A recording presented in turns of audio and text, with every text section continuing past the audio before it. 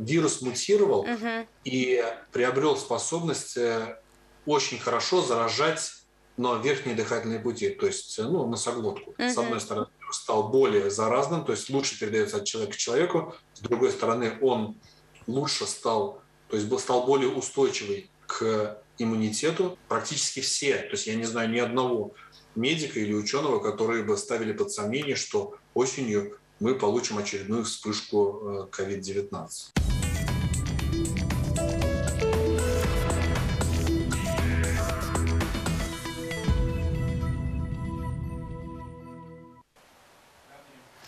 Сегодня в России выявили первых заразившихся новым подвидом COVID-19 кентавр. И врачи тем временем прогнозируют пик заболеваемости коронавирусом уже в августе. Ковид снова атакует. Это тема нашего сегодняшнего прямого эфира. Это главные новости в студии Аделя Кламиец. Здравствуйте.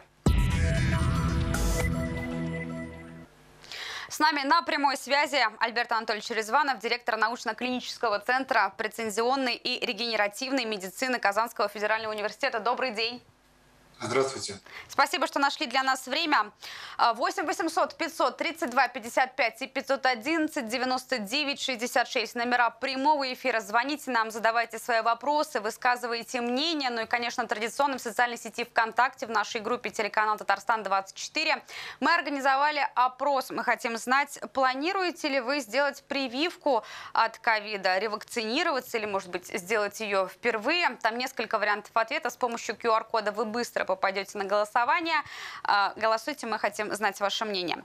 А, заболеваемость коронавирусом в России подскочила сразу на 30%. Ситуация начинает обостряться. За прошедшую неделю показатель заболеваемости COVID-19 России на 100 тысяч населения, а по сравнению с предыдущей неделей вырос на 30%. Об этом сообщил оперативный штаб по борьбе и контролю за заболеванием. Увеличение числа заболевших наблюдается в 68 субъектах России, в том числе числе в 22 регионах превышен средний показатель по стране. Также в ведомстве подчеркнули, что рост заболеваемости ковидом наблюдается уже третью неделю подряд.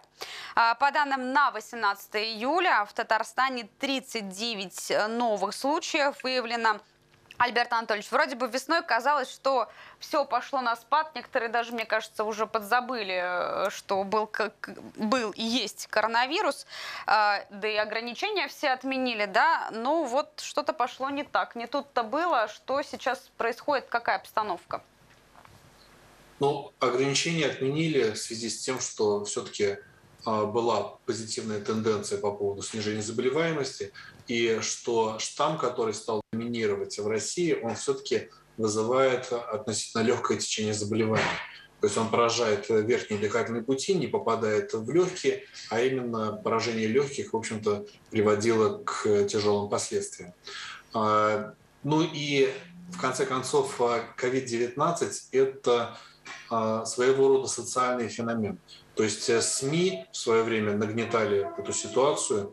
А, в конце э, зимы, начале весны появились другие темы, которые, на которые переключились эксперты диванные и как бы начали нагнетать ситуацию в другом разрезе. Ну и последний как бы тоже довод. Люди со временем привыкают. То есть получается такое эмоциональное выгорание, привыкание. Ведь, по сути, например, от алкоголя, от табака, там, от дорожных аварий погибает гораздо больше людей. А, а, но все с этим как-то смирились. Также и с ковидом люди помаленечку начинают с этим свыкаться, но при этом, а, вы правы, это остается достаточно серьезной медицинской проблемой. Ну и, соответственно, нужно все равно быть очень аккуратными с этой болезнью. А вот почему так случилось? Это можно с врачебной точки зрения объяснить, что весной все пошло на спад, и действительно последние месяцы мы жили без масок, совершенно спокойно. А, небольшое количество заболевших в день, в инфекционных госпиталях э, мало пациентов. Что произошло с вирусом?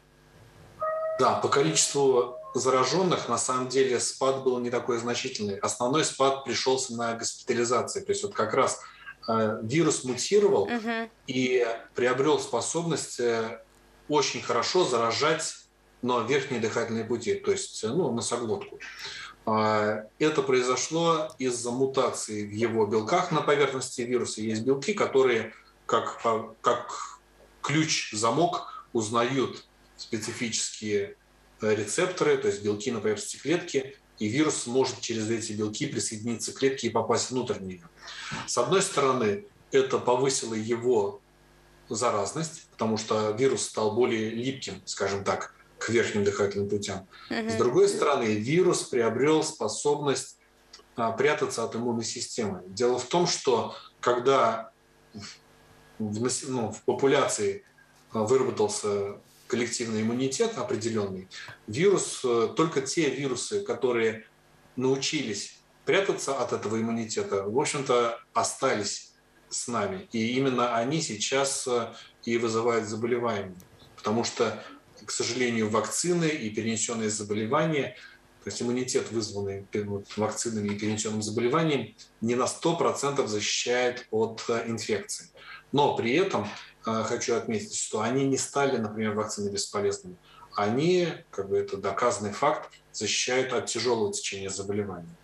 Поэтому э, вот, вот эти вот два фактора наслоились друг на друга. Mm-hmm. С одной стороны, стал более заразным, то есть лучше передается от человека к человеку. С другой стороны, он лучше стал, то есть стал более устойчивый к иммунитету.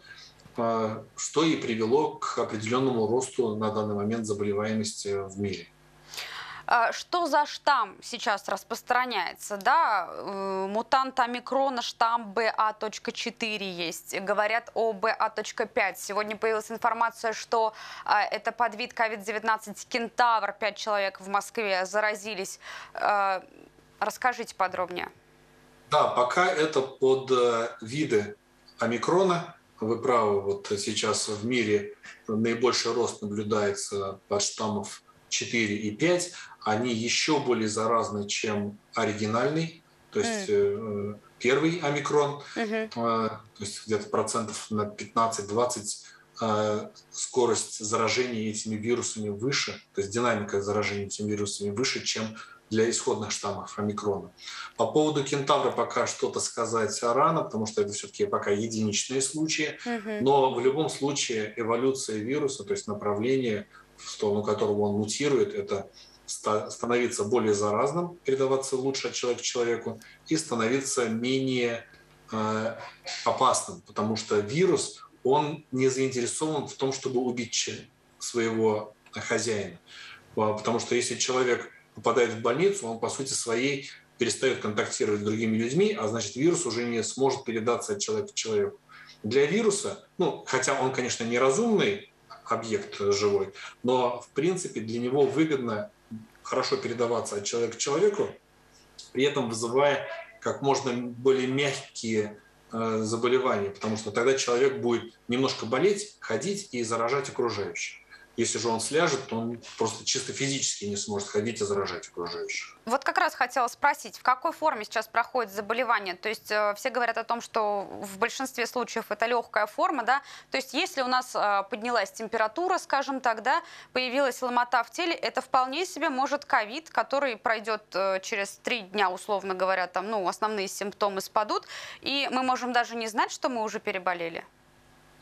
А, абсолютно верно к сожалению, ну или к счастью, а, у ковида нет таких симптомов, которые бы четко угу. позволили а, диагностировать, что именно ковид и не другие респираторные заболевания. Вот раньше, когда только все начиналось, мы запахи переставали чувствовать, да, и можно было понять. Сейчас уже этого нет. Ну, на самом деле потеря обоняния а, наблюдалась и при других заболеваниях. Mm. То есть плюс на тот момент э, ковид был доминирующим респираторным заболеванием. Сейчас, в принципе, как, ну, летом люди все равно болеют и другими простудами. Кондиционер. И особенно вот осенний сезон, который перед нами, это ну, очередная вспышка будет респираторных заболеваний. Угу. То есть, как всегда, весной, вернее, э, осенью люди возвращаются из отпусков, дети возвращаются в школы, в детские сады как бы люди начинают активно контактировать друг с другом, это создает благоприятные условия для новой вспышки сезонных ОРВИ. То есть такое понятие есть. И ковид, он, конечно же, внесет свой вклад в эту вспышку. То есть э, практически все, то есть я не знаю ни одного медика или ученого, которые бы ставили под сомнение, что осенью мы получим очередную вспышку COVID-19. Э, вот да, пик заболеваемости коронавирусом случится в конце лета. Об этом заявил главный межштатный инфекционист управления делами президента Георгий Сапронов. Э, первый подъем заболеваемости, считает он, произойдет, наверное, в конце июля, начале августа.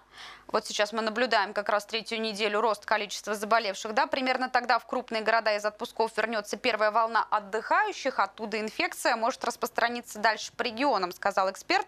По словам Сапронова, следующий пик случится в районе сентября-октября октября или ранее, в конце августа, начале сентября. Э, вы тоже так считаете? И э, получается, нужно отказаться от заграничных поездок сейчас?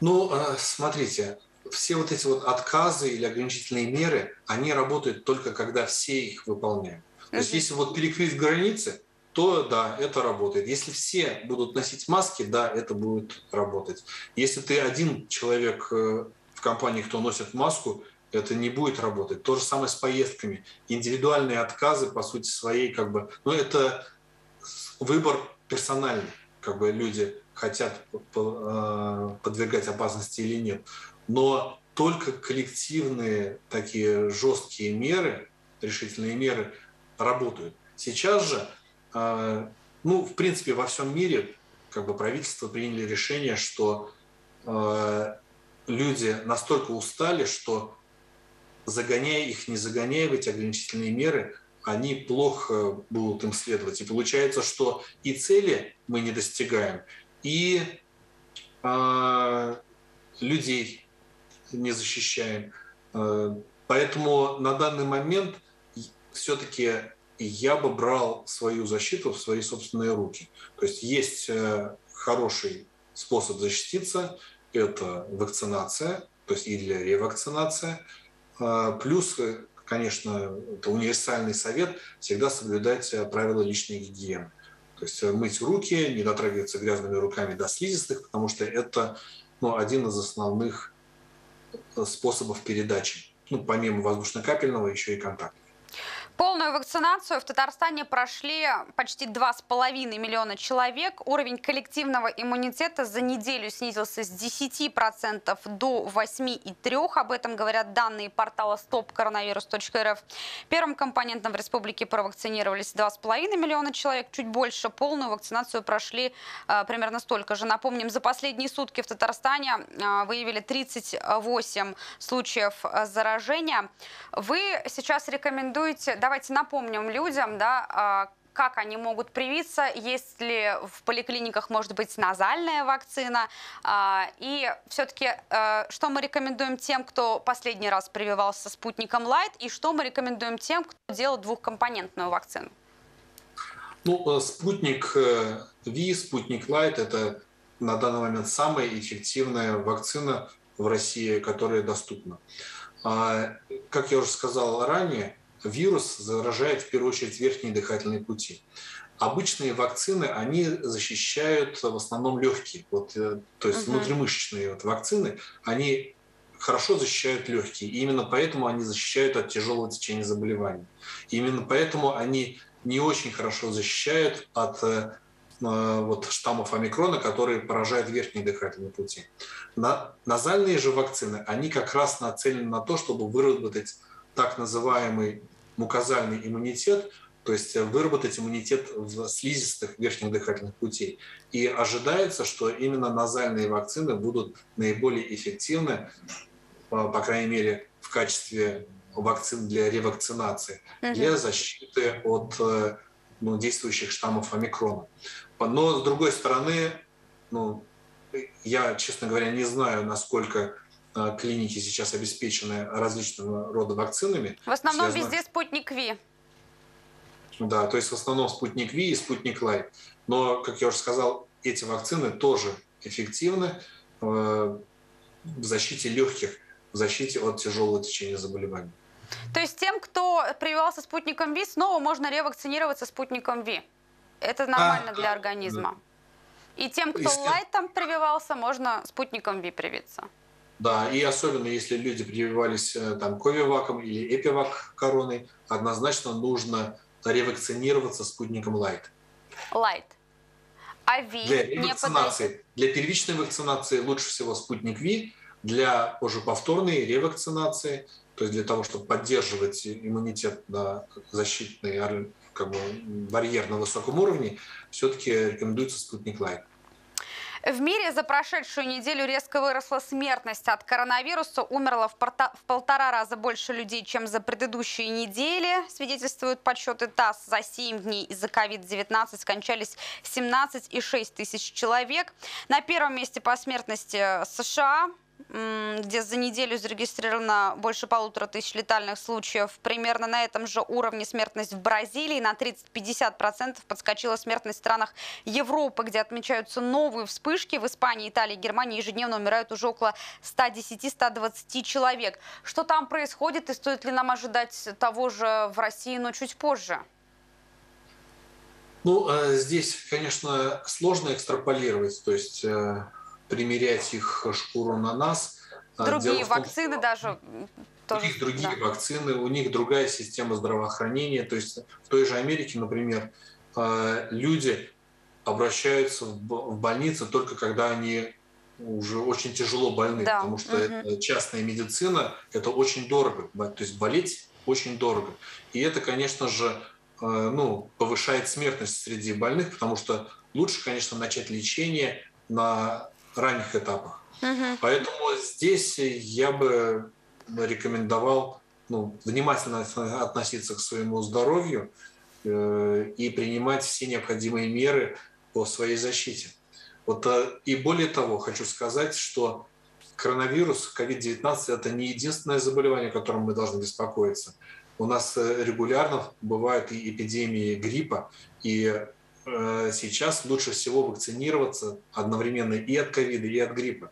То есть Минздрав разрешил одновременную вакцинацию mm. сразу вакцинами, чтобы максимально защитить себя э, этим э, осенним сезоном. И особенно, если у людей есть сопутствующие заболевания, хронические заболевания, потому что у них организм уже ослаблен, а значит любая инфекция будет протекать более тяжело.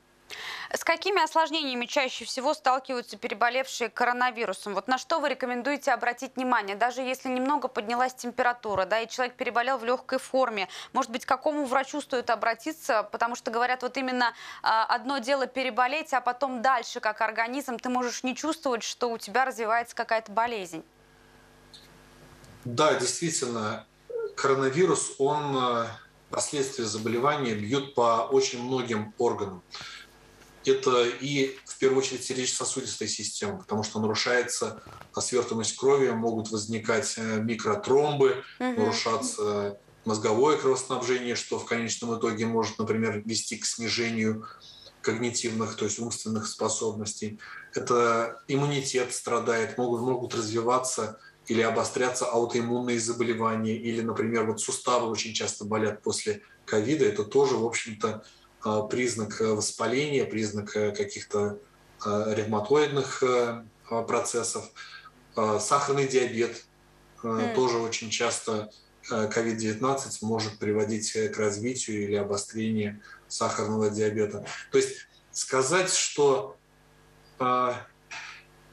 как какие-то только одни последствия да. могут быть, очень сложно. Их очень много. Здесь просто нужно внимательно относиться к своему здоровью, а, проходить. Э, если что-то беспокоит, э, безусловно, нужно обращаться к врачу за обследованием.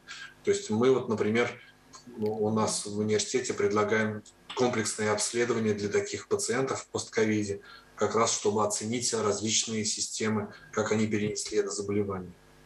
Предлагаю посмотреть итоги нашего голосования сегодня в нашей группе в социальной сети ВКонтакте. Называется она телеканал Татарстан-24. Мы спрашивали наших телезрителей, планируете ли вы сделать прививку от ковида, от коронавируса? 33, почти 34% говорят, уже сделал. 11% говорят, планирую. И 54 говорят, нет, не планирую. А, Альберт Анатольевич, предлагаю напомнить, сколько держится все-таки иммунитет после прививки, да, и через какой период нужно ревакцинироваться? Ну, считается, что иммунитет действует до года после прививки, как бы, ну, гарантированно. Хотя лучше, конечно, а, перед осенним сезоном сделать э, там ревакцинацию. Mm-hmm.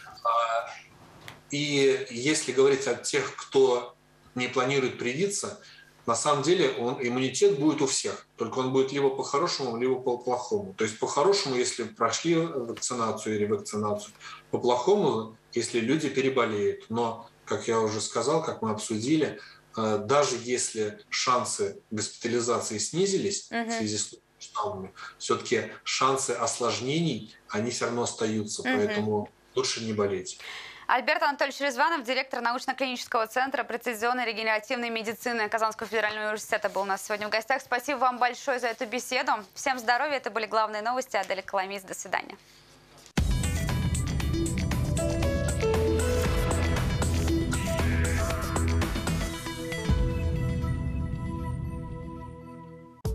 Подписывайтесь на канал Татарстан 24, не пропускайте интересные выпуски, жмите колокольчик.